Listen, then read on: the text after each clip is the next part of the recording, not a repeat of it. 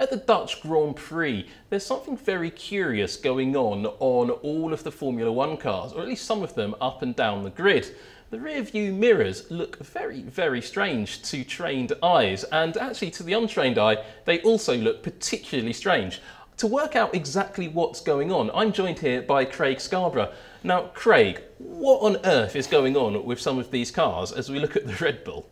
Well, actually, this Red Bull shot tells us exactly what's going on. You can have a look at the traditional mirror on this side of the car, exactly what we expected, the usual size mirror they've had for many years in Formula One now.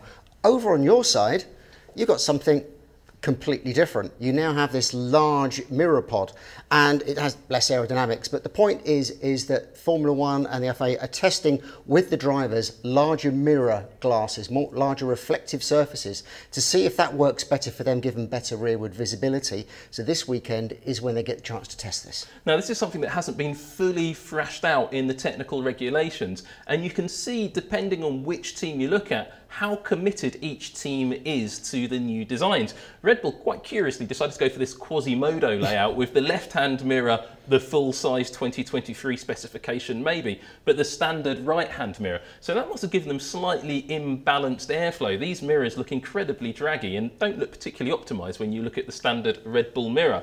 But to give a comparison to the sheer size difference between these mirrors, the Red Bull isn't the best example. If we go on to take a look at AlphaTauri, this is Yuki Tsunoda's car in the garage at uh, the head of free practice one and you can see the standard mirror housing the drag reducing aerodynamic element above it and as we look around you can just see how that mirror housing interacts with the rest of the car you come back round and you'll see the mirror glass sitting there and this is the, what the FIA are really looking at is this mirror glass just here as big as it truly needs to be. So will the drivers get enough visibility out the back of that glass? Well, this is the version that was fitted to Pierre Gasly's car. Just look at the sheer size difference. It's so much longer. It's probably, I don't know, a good 50% difference in size.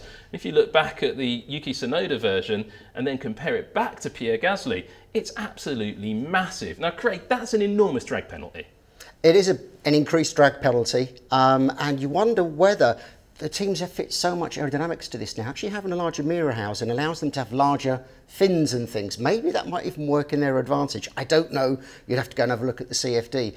But the other interesting thing is there seems to be two sizes of mirrors teams are trialling. This one is just merely wider, and the one, as we saw there earlier on the Red Bull, is deeper as well. So I think they're playing about with different options uh, to see what works best. And as we come around here, you can actually see, we call it a mirror. It's actually Perspex with a mirrored background. It's not glass, obviously, for you know, obvious safety reasons. But does having a bigger mirror actually give you a bigger, better rear view because of the rear wing, the rear tyres and everything else going on? So this is an interesting test and I'd be interested to hear what the driver's feedback on this is. Well, absolutely. We haven't heard anything from the drivers so far on it, but I think we'll hear a bit more later on. But obviously 2022 has much larger rear tyres on the cars and that is a factor. But I thought we'd take a look at a different car. Take a look at the Williams here. These are the, this is the much larger mirror housing that you were talking about earlier, Craig on the Williams. But something else that is larger as a result of larger housings, and you did mention this, are the supports. And we'll take a bigger look at that on some of the other cars. But the larger supports, and these are aerodynamic parts, they're mm -hmm. using these to tune the airflow back over the rear of the car. Yeah, they're a really useful piece of real estate of bodywork on the car to play with. So again, the more space you get, including the pod itself, the more opportunity you've got for playing with things, despite the fact that there will be some kind of a drag penalty, but equal across all of the teams. If you just want to stop that there, one of the other interesting things, I was actually asked this during the week, is the mirror glass can be curved or flat and it depends on the team and the driver how they play about with that mirrored surface. And something else that I think is worth looking at, Craig, it looks to me here that the mirror glass doesn't completely fit at the bottom of the mirror housing. Now, I don't think that's an accident. I think that's something Williams are playing with just to try to see if there's any aerodynamic advantage that they can glean from the base of that mirror housing. And we're going to look a little bit more in detail at some of the alternate layouts the teams are trying. Here's the standard Williams layout, and I just wanted to bring this clip up because you can see that mirror support underneath the pod, but I wanted to bring this round because unusually when we shot this footage, the mirror glass wasn't actually fitted into the housing on either side of the Williams. And that's something we don't normally get to see. So just to explain what's inside the mirror housing other than the mirror glass, well, the answer to that question is absolutely nothing. In this case? Exactly because normally what they would have inside here would be uh, a thermal camera, and we've spoken about this on Tech Talk before, looking at the tyre. Equally, the pressure and temperature sensor inside the tyre. Sometimes the aerial is inside here as well. So it's a useful place to mount stuff that's related to tyres uh, as well as the mirror itself. And it's actually very interesting to me that the Williams housing here has no connectors, no opportunity for the team to be able to connect anything into that housing behind the mirror glass.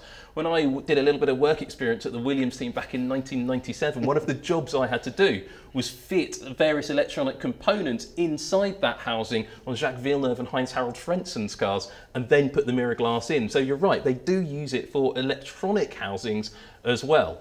But something that's really jumped out at me is how much the teams have invested in these experimental mirrors, something that you perhaps wouldn't expect to see. Here's the standard Aston Martin mirror housing. It's quite an advanced design, they've got little elements and it's something they've been working on extensively all the way through the season, Craig. They've had these little slots, these little cutouts and a single support in there. So that has taken them quite a long time to optimise, hasn't it?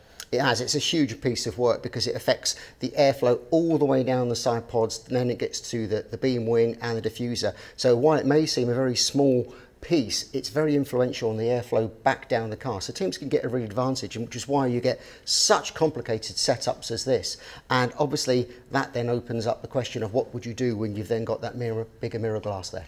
And considering the parts that are being put on the car for this Grand Prix weekend at Zandvoort, only used in free practice, take a look at Aston Martin's experimental part look at the complexity of this part. You've got these twin supports on the main housing. You've got this much longer aerodynamic element in here. And clearly the drag reducing components are all fitted along with this very large mirror stay as well. Now, Craig, this is a sure sign that Aston Martin feel fairly confident that this level of complexity is what's going to be allowed next year.